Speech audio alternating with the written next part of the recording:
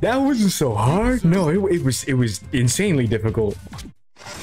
I have no idea how bad the middleweight's gonna be though. I have no idea. Hopefully we can at least beat Piston Honda. If we beat if we beat Piston Honda, I think I'm okay. Piston Honda. He's white now. oh god. Okay, what, what's his story about? Did he go back to his roots? Yeah. Okay, alright. Dude, he's faster than a speed train, a bullet train. Nah. We're not making out of this one. Oh god. Okay, okay. Is it is it is Oh, okay, okay.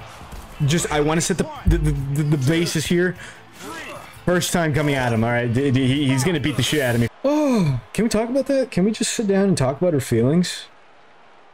I think the real punch out uh, was the friends who we made we made along the way. To be honest, I mean,